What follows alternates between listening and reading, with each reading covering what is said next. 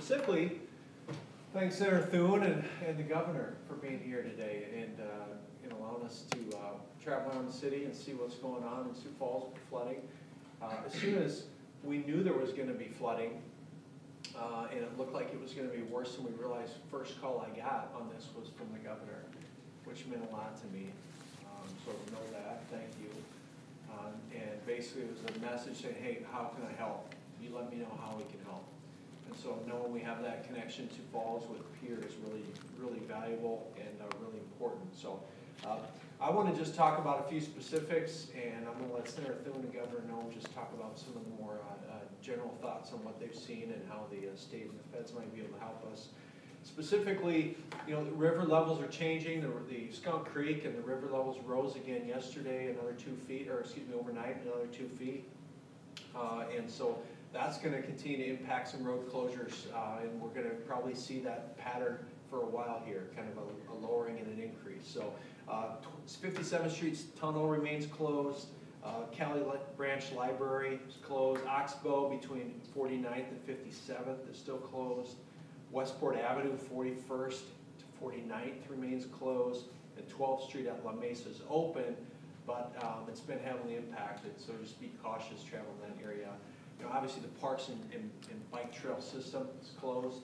Um, you don't have to be a genius to go to Yankton Trail and see you're not gonna be on the bike trail today. We spent some time there, and it's, I I would expect it to be closed for a while. And I know a bike trail is a jewel in our city, and with the spring temps, people wanna get out on the trail. Just, uh, stay off the trail if you can, uh, until we get the debris cleaned up there. Uh, people have asked about wastewater. We asked to limit water consumption for a while.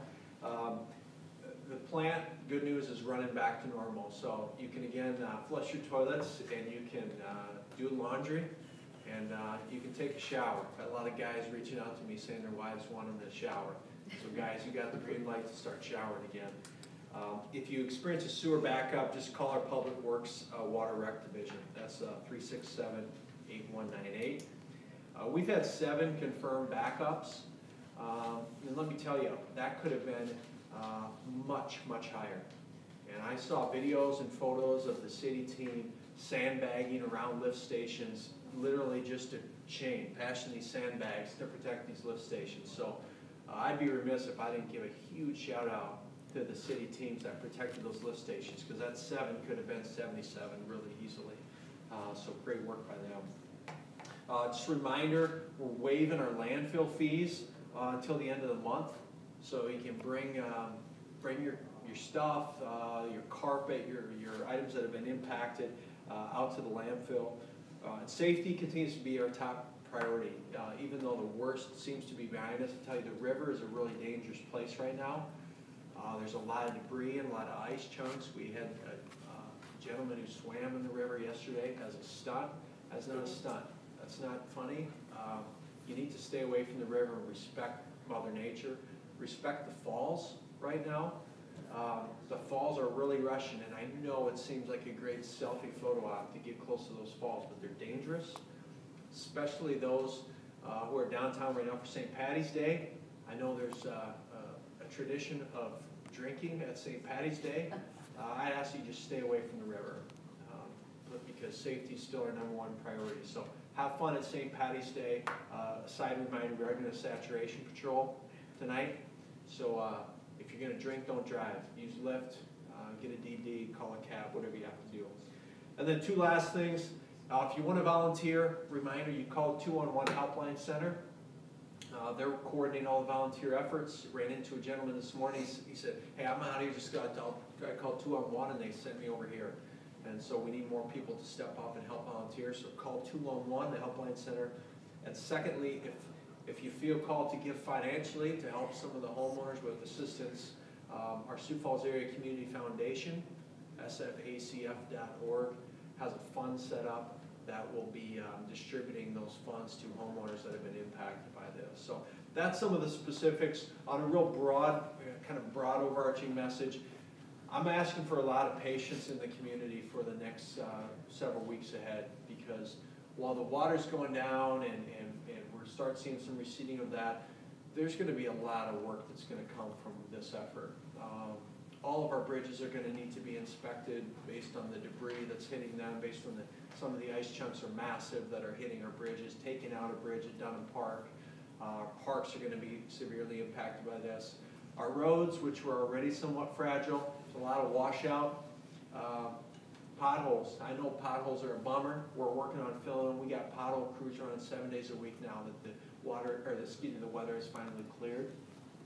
Uh, so, um, you can continue to report those potholes through the city app, uh, which again, if you just go to the app store, search Sioux Falls, uh, City, and you'll find the app. So, uh, thanks for your patience, uh, Sioux Falls, because we're gonna need it in the weeks ahead. And again, just wanna really, really express my appreciation to our state and federal delegation for coming and seeing what's going on in Sioux Falls and taking a tour today. And, um, and look forward to working alongside you, locking arms to get Sioux Falls back up and running. So I'm gonna turn it over to uh, Senator John Thune, who is with us today. Appreciate it. Well, thank you, Mayor, and special uh, thank you to you and your team for a very uh, quick and effective response uh, to all of this as a resident of this community. I live on the west side of Sioux Falls, and so um, we are always particularly interested in uh, making sure that uh, these types of uh, crises get handled and get addressed. And uh, to the, to the degree that you were out there yourself poking holes in storm sewers, uh, you were, you were all over it, so thank you for that. And um, I would just say, too, it's, um, when you get to see something and observe it firsthand, there's no substitute for that. You can see the videos, you can see the photos, and the media here has done a great job of sort of covering what's going on, not only here in this community, but across South Dakota. But there isn't any substitute for seeing it firsthand, and we got a chance to do that today.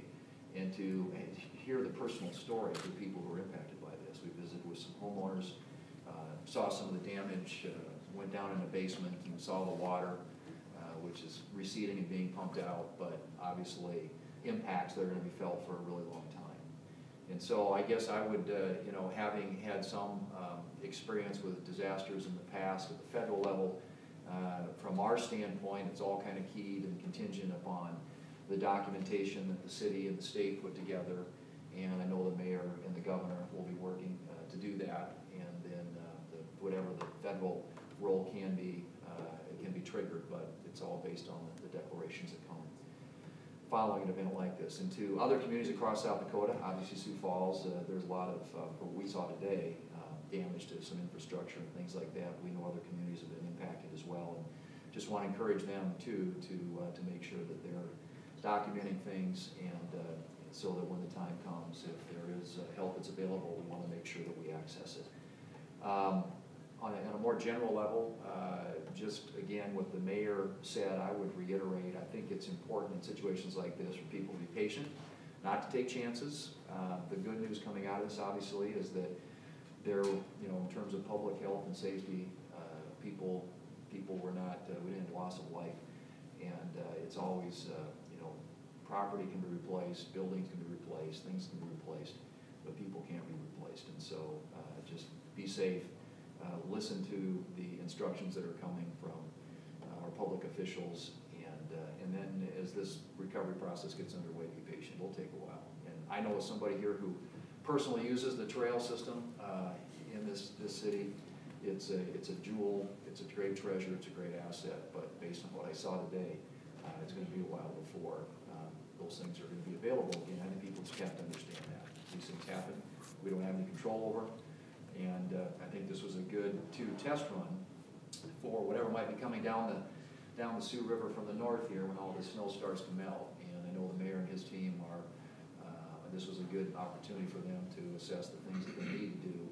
But uh, I just want to compliment you on the, on the great work and staying on top of this for the, for the people of Sioux Falls and uh, this community and, and, the, and the governor, obviously for the entire region. She's already been down to Yankton and North Sioux City and seen some of the damage there. So we'll look forward to being a partner and uh, obviously, again, uh, grateful for the chance to see firsthand today and to have the opportunity to visit with homeowners who've been impacted by this. And uh, clearly, it's a, you know, it's a heartbreaking to see the damage that happens to people who have invested a lot in their home and, uh, and to see it, much of it destroyed by some of these conditions. But um, the other thing that's always encouraging in a situation like this is to see the way that neighbors step up and help. And every home that we visited this morning, there were people in the neighborhood, and friends and family who would come over, all investing their time and energy to try and get people back on their feet. And that too speaks volumes about the caliber of people we have here in South Dakota and the willingness of neighbors to help neighbors. So, thank you. Governor? Yep, Thank you. Well, good morning. Uh, I really appreciate the mayor taking us out for a tour today. It's been a great opportunity for us to see up close damage that was done, where water levels are today, and that helps us with our assessment and coordination between the state, counties, and our communities like Sioux Falls that have really gone through it the last several days. So today we had the chance to observe the river. Last night I flew over it in the Black Hawk and, and we got some visual assessments done, which is gonna be very helpful going forward. Uh, I left Pierre yesterday, um, and we were not able to get out of here uh, except for by Black Hawk, because the airport was shut down, all the roads were shut down. The EOC, the Emergency Operations Center, has been open for several days now and is fully staffed, coordinating with the city of Sioux Falls, coordinating with Minnehaha County. Uh, and that's really the role that we felt today. But being here and being on the ground with the mayor and with the senator was very helpful, because we had the chance to talk to city workers, uh, talk to those who helped a lot of people get through difficult situations, and really look at our infrastructure and what kind of potential damage we may have out there. So we've got roads that have been damaged, trails that have been damaged. We have some state workers and county and city workers that are able to get back to their buildings today, but individual families whose lives have been dramatically changed too. And one thing is that we need to watch these bridges and get them inspected after we see the kind of ice flow that has been happening and the pressure that they've had, is to really know what kind of costs we're looking at, is to really get that full assessment. So, uh, looking at those situations today and seeing the worst of the worst and talking to people that really struggled, uh, will be helpful in the days to come. We as a state are not anticipating that this incident will be over until early next week. And that is because we still have water flowing. We still have some coming down from the north. We're dealing with blizzard conditions in the middle of the state. So we will continue to look at uh, damages and to assess what really has happened across the state of South Dakota for the next several days. And then once that assessment and the incident is, is declared ended, we have thirty days to really look at what costs were. So I'm gonna ask people out there to document, take pictures, start looking at costs that they have had in damages. I know our counties and our city will as well, um, be tallying up really what the costs may be and the damage done so that uh, we can partner, uh, with making declaration to the federal government level. I did sign an emergency declaration yesterday morning, so that allows us to start that process, and even in those thirty days, if we find we've incurred costs beyond that, we can still accommodate those kinds of needs. Uh, the legislature was very proactive before they left Pierre last week. They saw this storm coming, knew there would be damages, and in the appropriations committee and across the floor and in the general bill, they put in five hundred thousand dollars in emergency, uh, general funds that will be helpful through this process. Well, you, we, that's it, but five hundred extra that we will have specifically for this area. So, um, it's going to be very helpful to coordinate as well going forward with, there's about six million we spend on an annual basis, but we plussed it up another five hundred thousand as well, which is going to be very helpful, anticipating that this storm in particular is, was coming, and that, that will help us with those extra costs that we have. Department of Transportation has been busy, uh, they were out in many of the communities. We also had Highway Patrol that really stepped up and met some needs in some of our smaller communities. We did just lose a bridge down in the Canton area. So we do know that we're still seeing pressure along, uh, some of our rivers and we'll continue to see that. But we would just ask that as we go through this process, that you continue to communicate with us. Uh, there will be potentially in some counties, the ability to receive some FEMA funds uh, that we will have to document, and the state will have a role in helping you coordinate. There's uh, individual assistance that may or may not be available, but we'll make sure that we're checking that box as well. But just so grateful for the leadership here in Sioux Falls. Got a high populated area with a lot of public infrastructure that could impact a lot of homes, and the mayor and his team have done an amazing job coordinating that and getting through this difficult situation. As far as a statewide uh, basis, we have a lot of snow up north, so we'll continue to watch how that melts off and comes down through Sioux Falls. We still have a lot of snow in the central part of the state.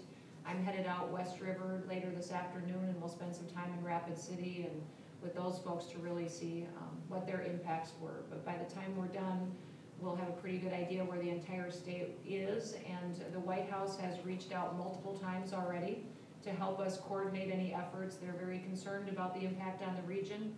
They saw the thunderstorms, the blizzard conditions, the flooding, and recognized that this storm was very unique and that South Dakota may be reaching out for some assistance at the federal level that the White House could be helpful with. I did uh, go down to Yankton yesterday. They have some pretty significant impacts to their community. About seventy to eighty percent of their roads were underwater at one time. A lot of culverts are gone, a lot of bridges that were impacted. We then also went down and did an assessment from air on the flooding down to the dunes.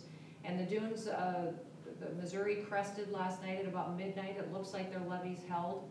It was very close. They had one breach that I think cost us some damage to a home and, and a road, but I think that from what it could have been, uh, we were very grateful that, uh, that those levees were in place and that that community was very proactive in sandbagging yesterday as well. So while we had a lot of damage done throughout the state, we do know that uh, we came out in a better situation than it could have been. And I think it's really because South Dakota is pretty special. Uh, We saw neighbors helping neighbors, people stepping up, uh, helping city workers, helping uh, communities uh, really pull together. So that's what makes us South Dakota and makes us a really unique and wonderful place to live. We'll turn it back over to the mayor for some questions. All right, thanks, Governor. Yep, thank you. All right, the, the uh, last point I, I want to clarify is, uh, it sounds like 57th Street Tunnel, just getting real specific. Probably the next hour that's going to be open, we're pumping that right now. That's a big east-west thoroughfare, so should have that opened up. So with that, um, again, want to say a final thanks to the senator and the governor for being here. We'd open it up to any questions that you have for, for any of us today. Great. Seeing none, we will take that. And uh, you guys have a blessed rest of your day. Be safe.